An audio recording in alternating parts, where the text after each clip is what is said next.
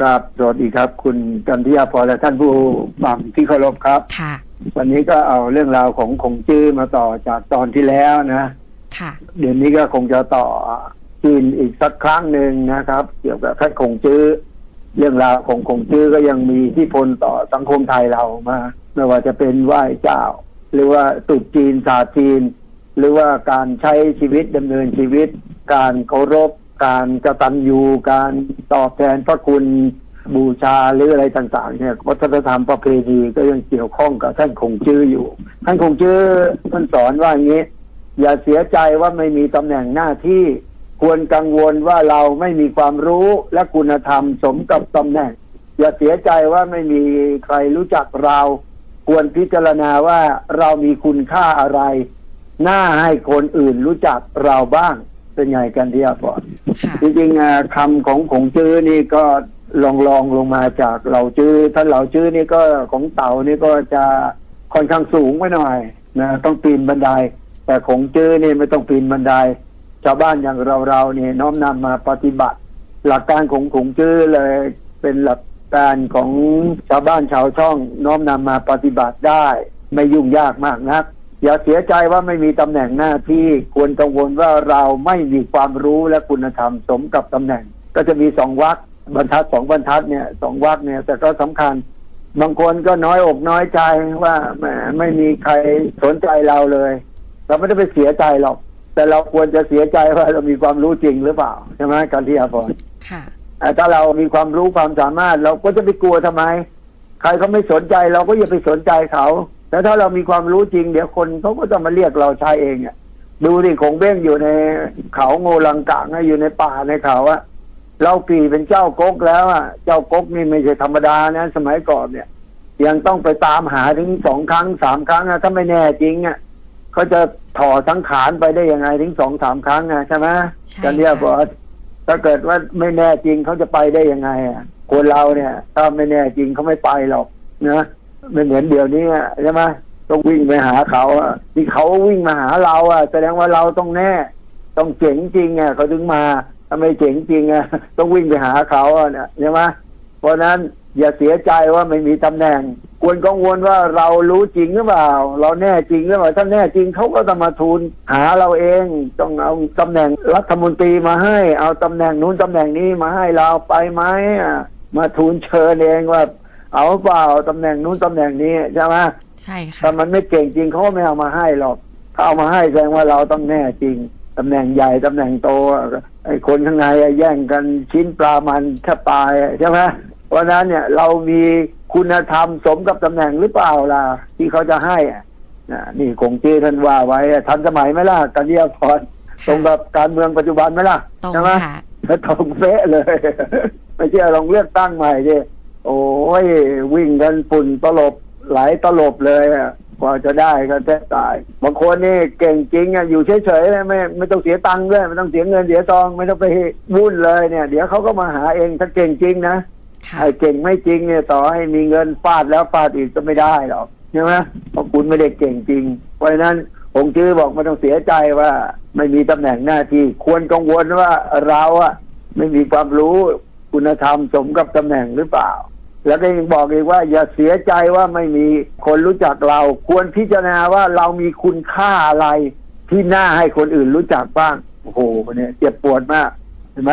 เรามีคุณค่าอะไรบ้างอะบางคนก็มาโชว์ตัว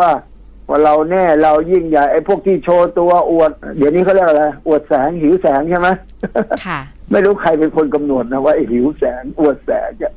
คนมันไม่มีคุณค่าต่อให้มันโชว์แสงมันก็ไม่มีคุณค่าไงใช่ไหมใช่ค่ะ คุณจะอวดแสงยังไงต่อให้โชว์แสงไงถ้ามันไม่มีคุณค่าเดี๋ยวมันก็ไปที่ชอบที่ชอบเองไงคนที่มันมีคุณค่าไม่ต้องมาโชว์แสงเนี่ยคนเขาก็เอาแสงไปส่องเองนั่นแหละใช่ไหมใช่เอาค่ะพระที่มีคุณค่าเนี่ย ต้องไม่ต้องส่องเลยคนเขาก็ตามหาเองอะใช่ไหมล่ะค่ะอย่างสมเด็จโตอะสมเด็จพุทธจารย์โตที่เป็นพระที่ท่านปลุกเสกมา ท่านไม่ต้องไปหิวแสงนะคนก็เอาแสงไปส่องท่านเองอะใช่ไหมอยู่กลุ่ไหนคนก็จะไปส่องเองอะใช่ไหมแต่ถ้ามันไม่มีคุณค่าส่องยังไง มันก็ไม่มีแสงให้ตัวเองอะใช่ไหมดาวอะถ้าไม่ใช่ดาวเลิกยังไง มันก็ไม่มีแสงพวกไม่มีแสงไงอับแสงไงไปส่องไง มันก็ไม่มีแววไงคนไม่มีแววอะส่องไงก็ไม่มีแสงไงดาวไม่ใช่ดาวเลิกไงถ้าดาวเลิกยังไง มันก็มีแสงในตัวเอง เพราะฉะนั้นเนี่ยที่คงจื้อพูดมาเนี่ยสองพันปีอะ มันก็ยังใช้ได้อยู่ ถ้าเรารู้จักเอามาใช้นะคำพวกนี้เป็นคำโบราณที่อาจารย์ก็เอามาปัดฝุ่น เอามาเล่าสู่กันฟัง มันก็จะเป็นประโยชน์นะอีกประโยคหนึ่งอันนี้ก็น่าสนใจคำพวกนี้ถ้าเกิดเราอ่านผ่าน ไม่ได้อ่านพิจารณา มันก็ไม่ค่อยมีประโยชน์ แต่ถ้าเกิดเรามาพิจารณามันก็เป็นประโยชน์คงชื่อบอกไม้ผูก ใช้แกะสลักทำอะไรไม่ได้ฟังให้ดีนะ ไม้ผูกใช้แกะสลักทำอะไรไม่ได้กำแพงที่ก่อด้วยดินโสโครก จะฉาบแต่งอย่างไรก็ไม่ดีขึ้นโอ้โหเป็นไงกันเรียพรค่ะคำพูดของคงจื้อเนี่ยน่าสนใจนะ คือนักปราชญ์เวลาพูดอะไรเนี่ย เราจะต้องตามพินิจพิจารณาแล้วก็เอามาส่องจิตส่องใจ ส่องแล้วก็ติดป้ายไว้เลยนะเวลาอาจารย์ทำหนังสือเนี่ย ก็จะเปิดทีละหน้าแล้วก็ดูช้าๆพวกนี้ดูผ่านไม่ได้พอดูผ่านมันไม่ได้อะไรไงพวกนี้เป็นคำใหญ่คำที่ต้องจารึกไว้ในจิตใต้สำนึก ไม้ผุใช้แกะสลักทำอะไรไม่ได้เห็นไหมอาจารย์ที่อาบอลเวลาเขาเอาไม้ผุผุจะเอามาทำอะไรก็ไม่ได้เลยอะเป็นไง ไม้ผุนี่เวลาเดินเหยียบไปบนไม้ผุผุเนี่ยเสียวไหมเสียวค่ะ เสียวพัวเลยฮะน้ำหนักเอาวการเดียพรน้ำหนักไม่ต้องเยอะ สามสิบสี่สิบก็พัวล่วงได้เหมือนกันนะใช่ไหมเวลาเราเดินไปบ้านเก่าๆไปนไงก็ผุค่ะใช่ไหมเดินเดินไปบนสะพานเก่าๆเดินไปบนหน้าผาแล้วไม้มันผุไปนไงเสียวไหมล่ะค่ะเอาไม่ต้องหน้าผา เดินไปบนสะพานแล้วข้างล่างเป็นน้ำนี่อย่างนั้นเสียวเลยใช่ไหมค่ะล่วงลงไปเสร็จ ไม้ผุใช้แกะสลักทำอะไรไม่ได้ เนี่ยเขาเปรียบเทียบเหมือนคนเนี่ย คนที่เป็นไม้ผุอะใช่ไหมใช้คนคนหนึ่งเอาไปซื้อโอเลี้ยงมันยังไปซื้อโอยุะมาเลย โอยุะกับโอเลี้ยงเนี่ยมันไม่เหมือนกันนะใช่ไหมค่ะคำว่าโอเลี้ยงเนี่ยมันใส่น้ำแข็ง แต่โอยั่วเนี่ยมันร้อนยั่วมันแปลว่าร้อน โอแปลว่าดำโอยั่วนี่แปลว่าร้อนน้ำร้อนนะถ้าโอเลี้ยงนี่แปลว่าน้ำเย็นกินแล้วมันสบายใจ โอโอเลี้ยงนะโอแปลว่าดำ ถ้าโอเจียวแปลว่านกอีกาเพราะนั้นไม้ผุใช้แกะสลักทำอะไรไม่ได้คงยื้อบอกว่าไม้ผุไม่ได้เรื่อง คนไม่ได้เรื่องไม่ได้ราวกำแพงที่ก่อด้วยดินโสโครกโหกำแพงไม่ต้องเป็นอิฐเป็นปูนใช่ไหมแต่กำแพงก่อด้วยดินโสโครกนะดิน โสโครกอีกต่างหากจะฉาบแต่งอย่างไรก็ไม่ดีขึ้นสรุปแล้ววักพวกนี้คงจื้อต้องการสื่ออะไร กันดีพรสื่อด้วยคนเนี่ย ใช้งานคนไม่ได้เรื่องไม่ได้ราวเนี่ยทำอะไรก็ไม่ได้เรื่องไม่ได้ราวมันก็เจ๊งกันเลยใช่ไหมค่ะบริษัทองค์กรราชการงานการบ้านการเมือง ใช้คนบ่อท่าคนไม่ได้เรื่องไม่ได้ราวใช้คนไม่ดี พอทำงานมันก็จบกันเท่านั้นแหละใช่ไหมล่ะ เอาง่ายๆอาจารย์จะเปรียบเทียบให้ฟังเวลาเล่นฟุตบอลเนี่ยที่เป็นตัวเนี่ยสิบตัวดีหมดเลยเนี่ยโอ้โห แต่ใช้คนผูกๆเป็นโกสักตัวหนึ่งอะสมมติอะการเรียพรมาเจ๊งว่าค่ะ เจ๋งค่ะ แล้วเอาศูนย์หน้าเป็นตัวผูกๆสักตัวหนึ่งอะจบไหมล่ะ ใช่ค่ะ หรือเอาแบ็คเป็นผู้ผู้สักตัว แบ็คตัวฉกาดมันหายไปตัวหนึ่งอะจบเลย เห็นไหมแค่ฟุตบอลเปลี่ยนไปตัวเดียวเนี่ย มันยังแพ้เลยนะนักฟุตบอลเนี่ยไอ้เวลาเราเห็นชัดเอาไอ้ฟุตบอลพรีเมียร์ลีกของอังกฤษอะที่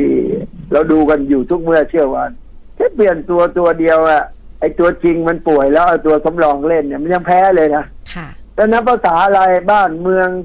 นักการเมืองเวลาเซตเป็นคณะรัฐมนตรี พอบอกยี่เนี่ยอ่าละเตรียมตัวลงลงละต่อฝาลงละพอยี่ต่อฝาลงละเห็นไหมเวลาเลือกตั้งมาเนี่ย เพราะฉะนั้นเวลาพรรคการเมืองแต่ละพรรคผสมลงกันเนี่ยโอ้โหไอ้พรรคนี้ดีเว้ยพรรคนี้ดี เอาพรรคนี้แย่เว้ยเอาตัวไหนมาก็ไม่รู้ อันนี้พอเป็นรัฐมนตรีอันนี้เป็นรัฐมนตรีช่วย พอไอ้ตัวนี้มาผสมเอาเลยเว้ยคอยจ้องกันแหล้วพอผิดพลาดขึ้นมาไปแล้วไปเป็นคณะเลย เนี่ยสำคัญที่สุดแล้วเพราะมันมีผลต่อประเทศชาติไงนะกันใช่ไหมนักปกครอง นักฟุตบอลก็มีผลต่อการแพ้ชนะ มันมีตัวอย่างในทางการทหารเขาถึงเล่าไงว่ากบียพรอยู่ในวงการทหารเคยสังเกตแล้วปูตัวเดียวทำประเทศชาติล่มสลายยังได้เลย เคยได้ยินไหมาตะปูตัวเดียวเนี่ยมันเกี่ยวอะไรรู้ไหม ก็ขุนพลเขาขี่ม้ารบใช่ไหมค่ะอันนี้ตัวตะปูเนี่ย เป็นผลยังไงรู้ไหมเพราะว่าพวกแม่ทัพเนี่ยเขาจะขี่ม้าใช่ไหมค่ะอันนี้ไอ้เกือกม้าเนี่ย มันก็เป็นตัวล็อกเกือกม้าของขุนพล อันนี้ไอ้ตะปูตัวเนี้ยมันหลวมไงคอนแกนเวลาขุนพลแล้วขี่ม้าสเปอร์เนี่ยมันหลวม พอหลวมมันก็ขยับไปขยับมาก็เลยไม่มั่นคงพอไม่มั่นคง ก็เลยทำให้ขุนพลนี่ก็เลยภาวะพะวงภาวะพะวงในที่สุดก็ตกมาตกมาก็เลยแพ้ขุนพลก็โดนฆ่าศึกฆ่าตายพอขุนพลตายกองทัพก็แพ้กองทัพแพ้ประเทศชาติก็แพ้แพ้ก็สิ้นชาติสิ้นชาติก็สิ้นแผ่นดินเห็นไหมตะปูตัวเดียวฮะตัวเดียวก่อนเสร็จหรือยังนี่เป็นเรื่องนิดเดียวเลยนะ ที่ให้เห็นว่าเรื่องนิดเดียวเนี่ยมันไม่นิดเดียว มันก็ไปของมันเรื่อยเรื่อยเรื่อยเพราะฉะนั้นอย่าดูถูกไอ้น้ำพึ่งหยดเดียวหรือเรื่องเล็ก ๆน้อยๆเนี่ยไม่ได้หรอกเมื่อไหมเห็นไหมล่ะผงจื้อพูดว่าไม้ผูก แกะสลักทำอะไรไม่ได้กำแพงก่อด้วยดินโสโครกจะฉาบอย่างยังไงก็ไม่ได้เรื่องเพราะนั้นเราอย่ามองข้ามไอ้เรื่องเล็กๆน้อยๆคนจีนเขาถึงบอกว่าเดือยผุๆอะไรต่างๆก็เนี้ยนะถ้าไม่ได้ใช้หนักๆนะมันก็ไม่ได้เรื่องนะ นะไอ้เดือกรอนประตูผุๆถ้าไม่ได้ใช้นานๆมันก็แย่เหมือนกัน เนี่ย เรื่องของจีนจีนเรื่องของมังกรหรืออะไร อาจารย์ก็เขียนหนังสือไว้เยอะเกี่ยวกับเรื่องจีนจีนเรื่องของมังกรเรื่องของสามก๊กเรื่องของอะไรมาก่อนเนี่ยตอนออกทีวีก็เล่าเรื่องสามก๊กไว้เยอะนะวันหลังก็จะมาเล่าเรื่องสามก๊กเนี่ยมันก็มีเกร็ดความรู้เรื่องอะไรต่างๆวันนี้ย เพราะคนจีนเนี่ยเขาไม่ใช่ร้อยปีพันปีนะมันสี่ห้าพันปีเนี่ย เพราะฉะนั้นเนี่ยก็เอามาเล่าสู่กันฟัง อีกสักเรื่องหนึ่งคำสอนของกงจื้อเขาบอกว่า กินข้าวหยาบกระด้างดื่มน้ำเปล่า ประสานมือหนุนต่างหมอน ก็มีความสุขแล้ว ความมั่งคั่งที่ได้มาโดยผิดศีลธรรมเราเห็นเหมือนเมฆที่ลอยละล่อง โอ้โห จ็บปวดมากเลยใช้คงจื้อ กินข้าวหยาบกระด้าง หมายความว่าไง กินง่าย ๆ เรียบง่ายเห็นยังดื่มน้ำเปล่า ประสานมือหนุนต่างหมอน ก็มีความสุขแล้ว ความมั่งคั่งที่ได้มาโดยผิดศีลธรรม เราเห็นเหมือนเมฆที่ลอยละล่องซึ่งแสดงว่าวิถีการของจื้อก็คือเศรษฐกิจพอเพียงที่ได้มาโดยผิดกฎหมายและผิดศีลธรรมเราเห็นเหมือนเมฆที่ลอยละล่อง ถ้าใครได้อุดมการณ์ของของจื้อข้อนี้ไปก็มีความสุขคืออะไร อะไรที่มันผิดกฎหมายผิดศีลธรรมมันก็ไม่ดีไงกันเรียกพอรู้ไหมผิดกฎหมายและผิดศีลธรรมน่ะ คือได้มาแล้วไม่มีใครเห็น แต่จริง ๆ มีคนเห็นไหมมีค่ะ เราเห็นไง ใช่ค่ะเทวดาเห็นไหมเห็นผีเห็นไหมค่ะตัวเราเองใช่ค่ะดูเราเห็นเวลาตายท่านโยมก็บอกอ่ามึงเอาเขามาแล้วกูเห็นนะท่านโยมเห็นไง แล้วต้องไปตกนรกหมกไหมมันก็ไม่คุ้มสมมติไม่มีใครเห็นเลยเนี่ยก็ตกนรกมันต้องไปใช้ในภพภูมิข้างหน้ามันงั้นมันจึงมีเขาเรียกกฎแห่งกรรมไงกฎแห่งกรรม มันจะไปออกลูกออกเมียออกผัวออก โอ้โหบางคนจะไปออกลูกออกหลาน เห็นกันมาในชาตินี้ก็เห็นมาเยอะแล้วอาจารย์เกษียณแล้วนี่จริงๆได้เห็นกันเยอะแยะเห็นมา เยอะแยะไปหมดเลยเนี่ย เพราะฉะนั้นเนี่ย คงจื้อเนี่ยท่านก็ผ่านโลกผ่านอะไรต่ออะไรมา เขาจึงได้พูดประโยคนี้ออกมาเนี่ย เหมือนเมฆที่ลอยละล่องอะอะคำว่าเมฆที่ลอยละล่องเนี่ย เมฆมันไม่มีจริงหรอกมันเหมือนกับเป็นไอที่มันลอยน้ำขึ้นมา พอเมฆมันควบแน่นปุ๊บมันก็กลายเป็นอะไรกำยาพรกลายเป็นฝนพอกลายเป็นฝนมันตกลงมาใช่ไหมก็กลายเป็นน้ำเราก็กินน้ำก็ไปพอน้ำมันโดนแดดจะไปมันก็กลายเป็นเมฆ ลอยขึ้นไปบนฟ้าอีกจริงป่ะกันยาพรจริงค่ะไอเราก็เห็นเป็นเมฆลอยขึ้นมาโดนพระอาทิตย์เขาเอากลารเป็นฝนลงมาอีกวนเวียนกันอยู่อย่างนั้นน่ะมันไม่มีอยู่จริงมันก็วนไปวนมาอยู่อย่างนั้น เพราะฉะนั้นคงจื้อบอกกินข้าวหยาบกระด้างดื่มน้ำเปล่าประสานมือหนุนต่างอ่อน ชีวิตมันก็วนเวียนก็มีความสุขอยู่อย่างนี้ ความมั่งคั่งที่ได้มาโดยผิดศีลธรรมโกงกินคอร์รัปชันอาจารย์ไปเห็นใครรอดสักคนหนึ่ง อ่านประวัติศาสตร์ของโลกมาไม่ว่าจะเป็นคนนู้นคนนี้ในโลกเราเนี่ยล้วนแต่หมุนเวียนไปกฎแห่งกรรมเนี่ยคือกฎหมายเนี่ยมันรอดได้นะแต่กฎแห่งกรรมอาจารย์ไม่เห็นรอด เอาง่ายๆหลายคนไปแก้เวรแก้กรรมดูพระพุทธเจ้าอาจารย์อ่านเรื่องวิบากกรรมของพระพุทธเจ้า อาจารย์ก็เอามาเล่าใน youtube ของอาจารย์เองหรือแม้แต่ในทีวีที่อาจารย์ออกอะ ระพุทธเจ้าเนี่ย ก็ยังไม่รอดเลยนะพระโมคคัลลานะเนี่ยเหาะเหินเดินอากาศได้อะจริงป่ะกัญญาพรค่ะขึ้นสวรรค์ลงนรกได้ ก็ยังไม่รอดโดนพวกพราหมณ์ทุบซะจนแตกละเอียดเลยอะแล้วนั่นแหละเหาะเหินเดินอาจารย์ได้รอดที่ไหนพระโมคคัลลานะหนีได้จริงแต่ว่ามันก็รอดกรรมไม่ได้เพราะอดีตท่านฆ่าพ่อฆ่าแม่ใครว่ารอดได้มันรอดไม่ได้หรอกเพราะกรรมมาเนี่ยพุทธเจ้าก็รอดไม่ได้แล้วก็โดนเหมือนกันนะท่านก็บอกท่านก็เคย ฆ่าพี่ฆ่าน้องเรื่องแย่งที่ดินท่านก็เคยทำนู่นทำนี่มา จนวาระสุดท้ายจะอวสานจะกินน้ำจะฉันน้ำยังฉันไม่ได้พระอานนท์บอกน้ำขุ่นน้ำขุ่นหนึ่งสองสามรอบเพราะดีเคยเป็นโคบาลไปตีวัว จะกินน้ำเอ่อก็น้ำขุ่นได้อีกเพราะวัวจะกินน้ำท่านไปตีวัว ก็วัวไม่ได้กินน้ำท่านก็หลักการเดียวกัน จะกินน้ำน้ำไม่ได้ก็น้ำขุ่นไปอย่างนั้นเนี่ยอะ ใครว่าแก้กรรมได้ท่านก็ยังโดนเล่นงานซะเพราะฉะนั้นเนี่ยกฎแห่งกรรมไม่มีใครรอดได้ เพราะฉะนั้นเรื่องราวต่างๆเหล่านี้มันหนีไม่พ้นเพราะฉะนั้นที่ผมจื้อบอกกินข้าวหยาบกระด้างดื่มน้ำเปล่าประสานสิ่งต่างๆเหล่านี้มันเป็นธรรมชาติ เพราะถ้าเรายอมรับกฎแห่งกรรม หรือว่ากฎแห่งศีลธรรมหรือสิ่งต่างๆเหล่านี้เราจะมีความสุข ถ้าเราทำไปแล้วเนี่ยยังไงมันก็ต้องดีดกลับมา ไม่ช้าก็เร็ว ช้าหรือเร็วเท่านั้นแหละนะอีกสักวักหนึ่งผมจื้อบอกว่าทำงานอย่ารีบร้อนเพื่อให้งานเสร็จ อย่าเห็นแก่ประโยชน์ส่วนน้อยทำงานรีบรีบพอให้เสร็จ จะไม่บรรลุเป้าหมายของงาน เห็นแก่ประโยชน์เล็กน้อย จะทำการใหญ่ไม่สำเร็จโอ้วันนี้ท่านคงจื้อท่านสอนได้สุดยอดจริงๆเลยคือบางคนบ้านไกลเวลาน้อยอะกันเดียบอลก็ได้ยินนะค่ะ บ้านไกลเวลาน้อย เป็นนู่นเป็นนี่เฮ้ยกูมีเวลาน้อยเว้ยเอาให้เร็วโครงการพันแปดร้อยล้านสวาปามวับวับวับวับแล้วเป็นยังไง ตาลีตาเหลือกเลย อยากได้เร็วๆเรียบร้อยแล้วกูหมดไปเยอะแล้ว ขอเร็วๆหน่อยเป็นยังไง เรียบร้อยลงเรียนจีนไปเลย เพราะนั้นเนี่ย อย่ารีบร้อนพอทำเสร็จแล้วมันผลประโยชน์ของบ้านของเมืองเนี่ย มันสำคัญ เพราะว่าอะไรเพราะมันเป็นผลประโยชน์ของคนส่วนใหญ่ ในโอวาสีท่านเหลียวฝานเนี่ย ท่านเหลียวฝานนั่นก็เป็นคนซื่อสัตย์ของแผ่นดินจีนเขานั่นแหละท่านก็เปลยว่าบางทีทำความดีเนี่ยมันยากกว่าจะได้โอ้โหมันช้าไง ท่านก็บอกโอ้โหเนี่ย ตอนเป็นอำเภอเป็นอะไรต่ออะไรเนี่ย เออทำกว่าจะได้เนี่ย ช้าเหลือเกินท่านก็พยายามทำดีอะไรต่างๆ เนี่ย ท่านก็นอนฝันไปว่า โอ้โหทำไมมันช้าอย่างงู้นอย่างนี้ เทวดาบอกเนี่ย ได้ความดีเป็นหมื่นเป็นแสนเป็นล้านแล้วนะทำได้เยอะแล้วบอกเยอะได้ยังไงก็ได้เยอะสิก็ลดภาษี